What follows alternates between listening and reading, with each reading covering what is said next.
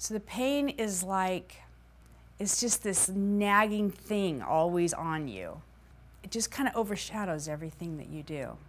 So what I do for it is I get the spring thing and I work, I find the area where the muscle, the knot is, and just kind of work around like that.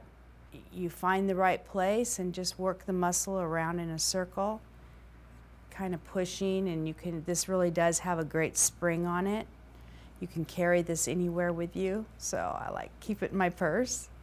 And um, eventually I'll work that muscle out. It's like the battle between the muscle and the spring thing. And there you go.